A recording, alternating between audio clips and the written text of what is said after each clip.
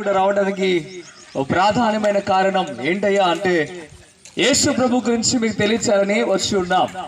చాలా మంది యేసు ప్రభు వారు అనగానే ఆయన విదేశీ దేవుడని ఆయన మనకు సంబంధించిన వాడు కాదని ఆయన మనకు సంబంధించిన దేవుడు కాదు కాబట్టి మనం నమ్ముకోకూడదని చాలా మంది అపోహ కలిగి ఉన్నారు.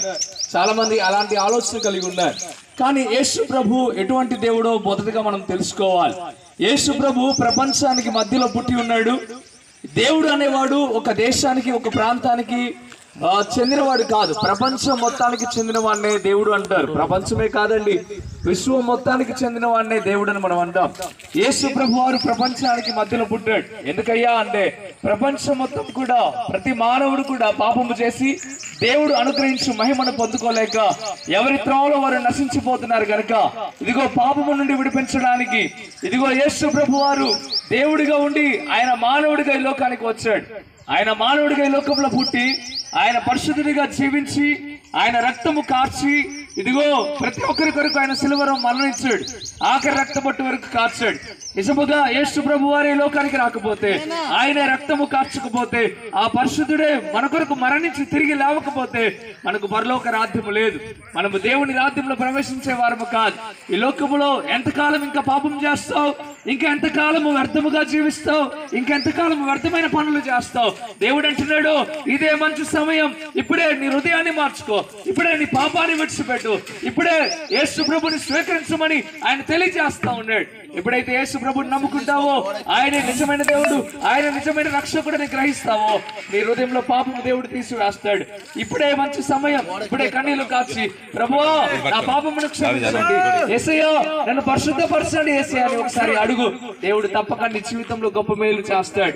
ఆయన నీ జీవితంలో అద్భుతమైన కార్యం చేస్తాడు. ఈ రోజు ప్రభు కోరుకుంటున్నాడు నువ్వు మారాలని. ప్రభు కోరుకుంటున్నాడు ఇదిగో నీ జీవితంలో అద్భుతమైన కార్యం చేయాలని.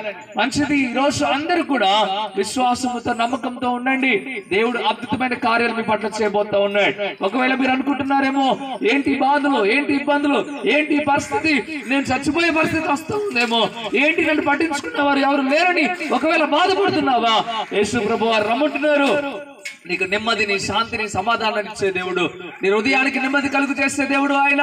తప్పక మీరందరూ కూడా విశ్వాసం కలిగి ఏసైతో ఒక మాట చెప్పండి. ప్రభువా నా జీవితంలో గొప్ప కార్యం చేయనైనా మీరు మమ్మల్ని కాచి కాపాడండి. నేను నేను నమ్ముకుంటాను నాయనా. అయ్యా నన్ను నన్ను విడుదల దాచేయండి ప్రభు ఈ కష్టాల్లో నాకు తోడుగా ఉండండి ఏసయ్య. అయ్యా నేను భరించలేకపోతున్నాను ప్రభు అని ఆయన పాదాలను పట్టుకోగలిగితే ఒక్క మాట నువ్వు చెప్పగలిగితే దేవుడు నీ జీవితంలో గొప్ప కార్యం చేస్తాడు. అమ్మా అయ్యా ఇదిగో మీ అందరిని ప్రేమించి దేవుడు ఈ ఉదయకాల సమయంలో మాట చెప్తా ఉన్నాడు. ఒకవేళ నువ్వు ఒప్పుకోగలిగితే ఇప్పుడే ఈ క్షణం నువ్వు ఎక్కడున్నావు ఆ స్థలంలో కళ్ళు మూసుకొని ఇదిగో ప్రార్థన ఏకీభవించు ప్రార్థన చేద్దాం.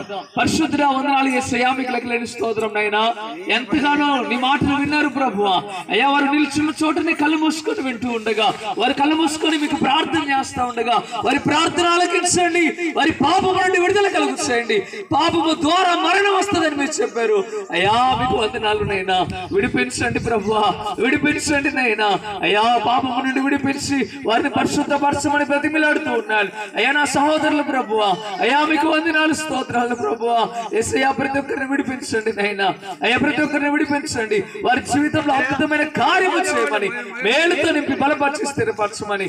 ఏసయ్య నామంలో మిక్కిలి బతిమిలాడి వేడుకుంటున్నాము తండ్రి ఆమేన్. ఆమేన్.